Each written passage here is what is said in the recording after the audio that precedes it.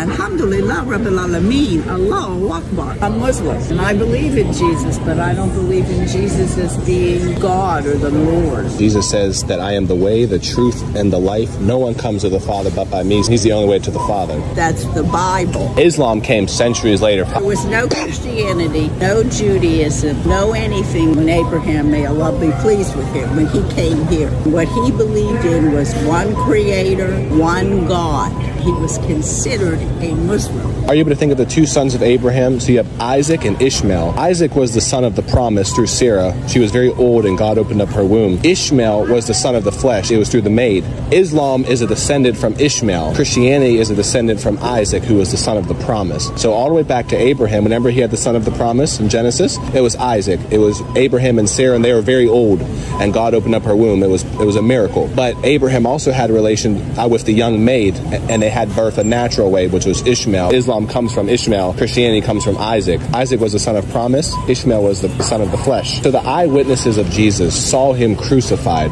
for our sins, and the Quran comes centuries later and says that he only appeared to be crucified. Now, who are you going to believe? Eyewitnesses who lived at the time of Jesus, or a book that comes centuries later called the Quran that said he only appeared? The Bible was written by man. People who wrote about Jesus were not even with Isa. Matthew was and John was. They were both disciples. And Mark got his information from Peter, who was a disciple. And I was raised Christian. It's sad that you departed from, from oh, the truth. No, Alhamdulillah Rabbil Alameen. Allahu Akbar. Jesus said, Before Abraham was, I am. That's what he said from his own words. So before Abraham was, he is. He is eternal. Quran talks about Jesus, but the Bible never talks about Muhammad. It does. Ahmad. It does not. Jesus says, Follow the one that will come after me, that will be the peacemaker. His name will be Ahmad. Can you tell me where he says that? Chapter and verse in the Bible? No, I can't tell you from that. Jesus was crucified for our sins, I don't buried, that, and he rose from the dead on the third day. He was witnessed to die and rise again by eyewitnesses. The Quran comes centuries later and says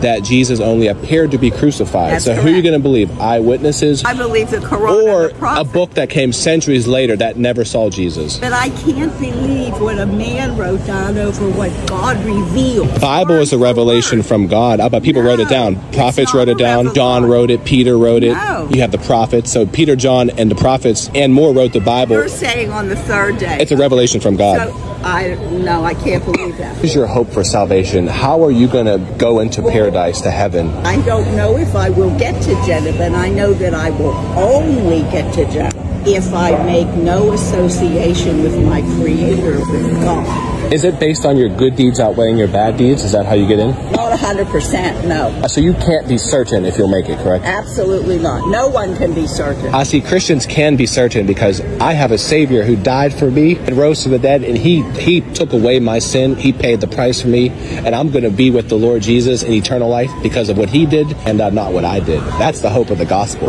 So then you're saying it doesn't make any difference what you do here. He calls us to obey Him and follow Him and walk with Him. Uh, see, once somebody accepts the Lord Jesus, their life is transformed. He's not the Lord. He's a man. He absolutely is the Lord. How's he the Lord? He's the King of Kings and the Lord of Lords. I promise you that He is the Son of God and He is the only Savior. No, you just took on I'm not gonna be able to catch you. What- what was your name? On a man. I can't touch you. I'm sorry. Okay.